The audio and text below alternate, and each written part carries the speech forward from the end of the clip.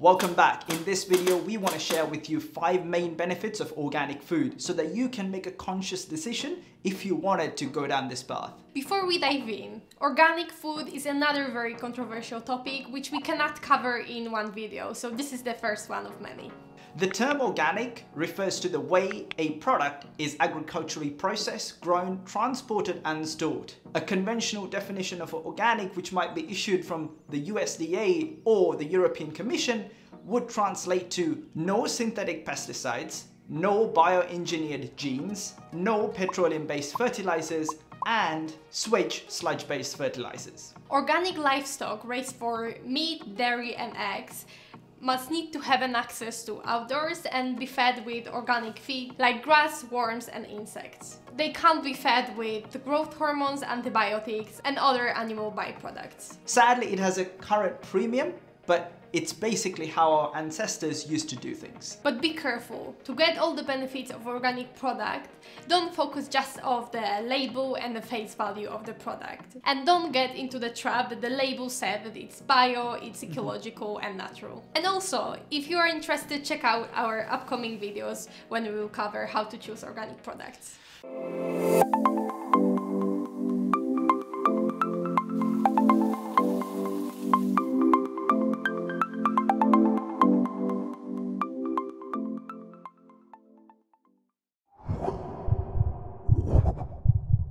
Number one, organic products minimize an exposure to chemicals like pesticides, herbicides, heavy metals, fertilizers, and growth hormones. Pesticides and herbicides are toxic in its nature, and your diet chronically would expose you to these toxins if you are not eating organic. Fruits and vegetables labeled organic do not use synthetic pesticides or herbicides which are toxic in nature. So one might ask, how are these approved to be used? While such chemicals are proved safe in small quantities, many studies have proven that constant exposure to these chemicals have close associations with a increase of risk of diabetes and metabolic syndrome. To compound this problem, many heavy metals are found in pesticides, such as cadmium. Cadmium is a highly toxic metal that accumulates in a human body. What is crucial, it is classified as a type 1 carcinogen, which means it contributes to the cancer development. Exposure to cadmium has been also linked to increased risk of Alzheimer's disease, thyroid problems, hormone imbalances. Therefore, it is pretty obvious we should do everything to minimize the exposure to cadmium. Another concern is genetically modified organisms, often known as frankenfoods.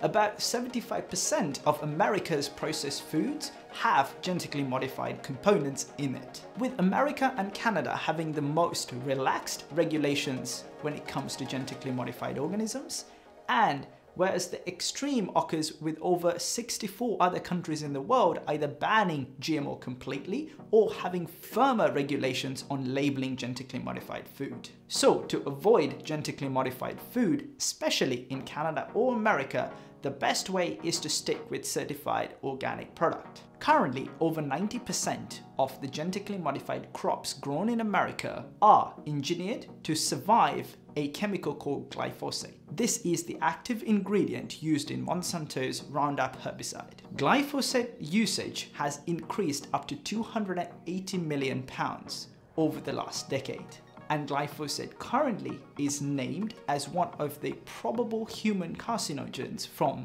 the World Health Organization. This might come across as if we're against genetically modified food.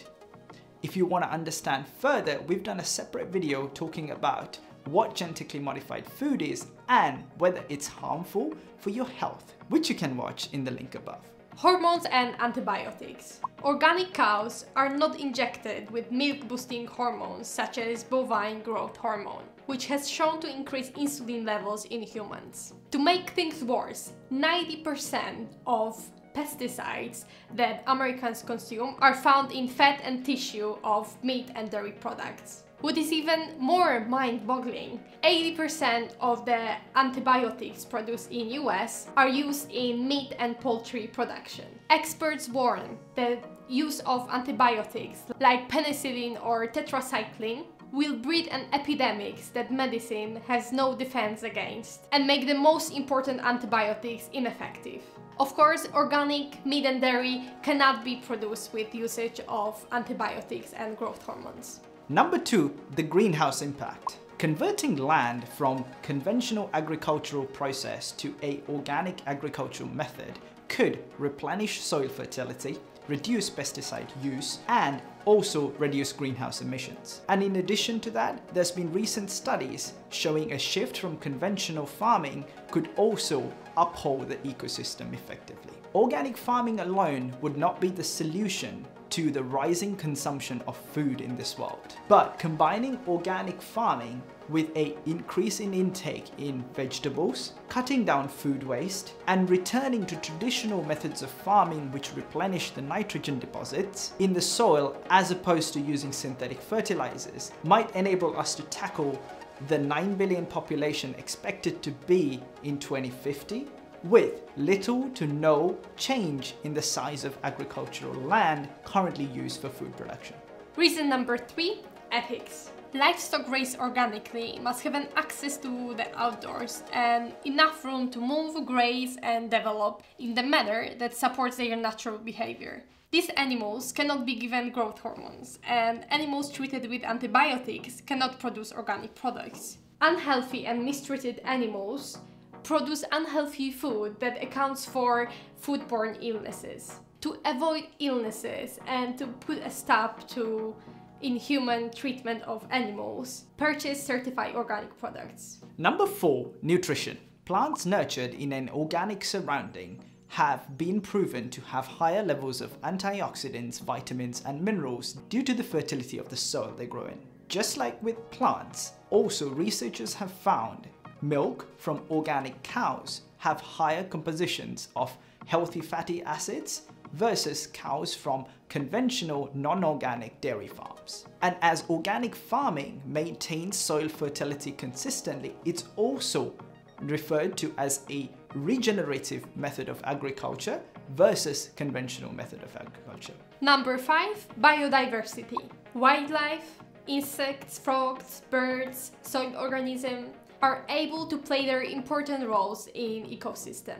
And we are able to play ours without any compromise and interference. The decline of bird species and other pollinator has been linked to usage of pesticides used by conventional farmers. Organic farms are home to 30% more wildlife species than conventional farmers. So we hope that this video helped you understand and make a more conscious decision about whether you should go organic or not. Of course, this is just a one piece of the puzzle and there is much more which we will cover in upcoming videos. As you very well know, nutrition is a very young science and the research keeps consistently changing and the definition of organic is not necessarily dumbed down to a label on a food product. So, if you like this video, give us a thumbs up and subscribe and we'll see you on the next video. Bye!